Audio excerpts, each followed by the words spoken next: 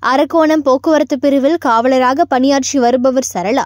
சோளிங்கரிலிருந்து தனியார் பேருந்தில் அரக்கோணம் நோக்கி வந்துள்ளார். காலை வேலை என்பதால் வழிநெடுக கிராமங்களிலிருந்து பள்ளி கல்லூரி மற்றும் சென்னை பணிக்கு செல்பவர்கள் பேருந்தில் ஏறியதால் கூட்ட நெரிசல் ஏற்பட்டதாக கூறப்படுகின்றது.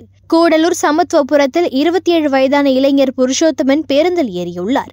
அவருடைய கை பெண் போலீஸ் சரளா மீது உரசியதாக கூறப்படுகின்றது. இதனால் ஆத்திரமடைந்த சரளா இளைஞரை தாக்கியதாக கூறப்படுகிறது. கூட்ட நெரிசலில் தெரியாமல் கை உரசியதாகவும் அதற்கு தன்னை தாக்கிய பெண் போலீசை கண்டித்து பேருந்தில் பயணித்த பயணிகள் திடீரென சாலை கைலாசபுரம் கிராமத்தில் பேருந்தை நிறுத்தி சாலை மறியலில் ஈடுபட முயன்றதாகவும் தகவல் அறிந்த அரக்கோணம் தாலுகா போலீசார் விரைந்து வந்து சமரசம் செய்து பேருந்தை தொடர்ந்து இயக்க நடவடிக்கை எடுத்துள்ளனர்.